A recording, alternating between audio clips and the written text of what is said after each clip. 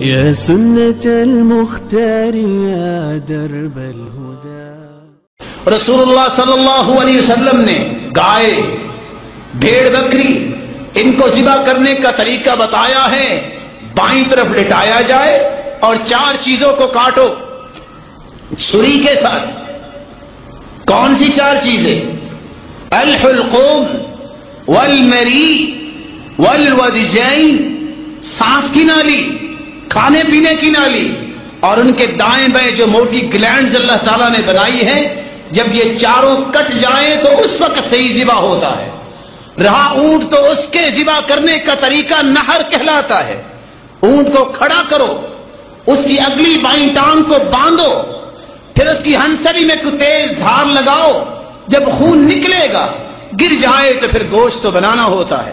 رسول اللہ صلی اللہ علیہ وسلم نے حکم دیا اور آپ کے صحابہ نے بھی اپنی بیٹیوں کو حکم دیا۔ قربانی مرد بھی کر سکتا ہے، قربانی عورت بھی کر سکتی ہے۔ صحیح بخاری کی روایت ہے، امر ابو موسیٰ العشعری بناته ان يضحین بأیدیہن ابو موسیٰ عشری نے اپنی بیٹیوں سے کہا، جاؤ اپنی اپنی قربانیاں خود کرو۔ نہ جانے کس نے کہہ دیا کہ عورت کو تو چھری پھیر دے حرام ہو جاتا ہے۔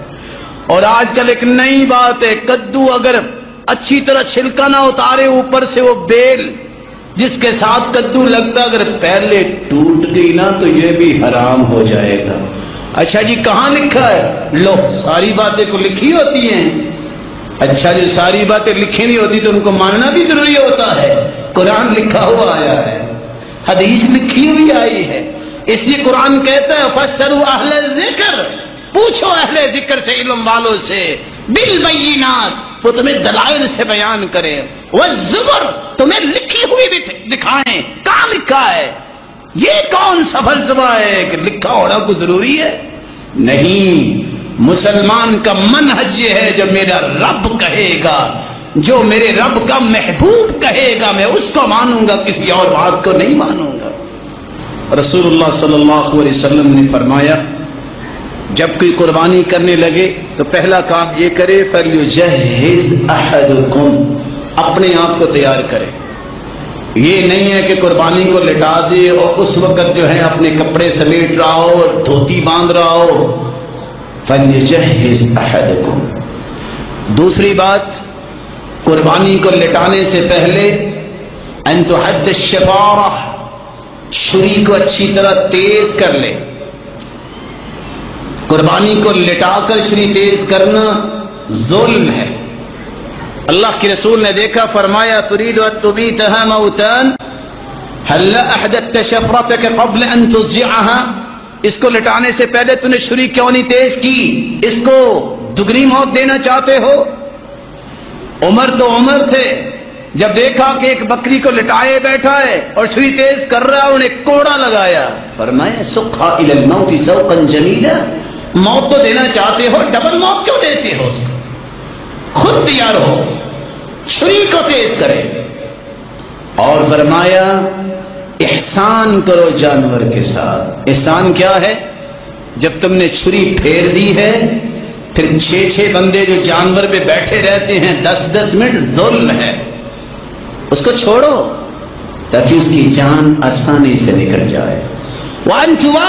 عَنِ چوتھا ادب یہ ہے، ایک جانور جب ذبح ہو رہا ہے تو دوسرے جانور دیکھ نہ رہے ہوں۔ چھپا کے کرو۔ رسول اللہ صلی اللہ علیہ وسلم نے قربانی کی اور آپ نے اپنا بایاں قدم مبارک اس کے پہلو پہ رکھا۔ دائیں ہاتھ سے چھری چلاتے وقت فرمایا بسم اللہ واللہ اکبر اور چھری چلا دی۔ رسول اللہ صلی اللہ علیہ وسلم نے حکم دیا کہ تم دن کو بھی قربانی کر سکتے ہو، رات کو بھی قربانی کر سکتے ہو۔ لیکن اس نیت سے اگر رات کو قربانی کرو کہ گوشت بچ جائے کو لینے نہ آئے، تو یہ مسلمان کی شان نہیں ہے۔ بخل وَأَيُّ دَائِنْ أَدْوَى مِنَ الْبُخْلِ بخل سے بڑی بیماری دنیا میں کوئی نہیں۔ اس لیے جب قربانی کرو، کل ایام تشریق ذبح۔ ایام تشریق میں کسی دن بھی قربانی ہو سکتی ہے۔ گیارہ، بارہ اور تیرہ مغرب سے پہلے پہلے قربانی کر سکتے ہو۔ رسول اللہ صلی اللہ علیہ وسلم نے سو اونٹ قربان کیے، تریسٹھ نہر خود کیے اور بقیہ علی رضی اللہ تعالی عنہ کو حکم دے دیا۔ آپ صلی اللہ علیہ وسلم نے اپنی زوجات متحرات کی طرف سے گائے بھی ذبح کی۔ آپ نے دو مینڈے ذبح کیے۔ رسول اللہ صلی اللہ علیہ وسلم کے ان فرامین کو دیکھ کر اپنی استطاعت کے مطابق انسان قربانی کرے۔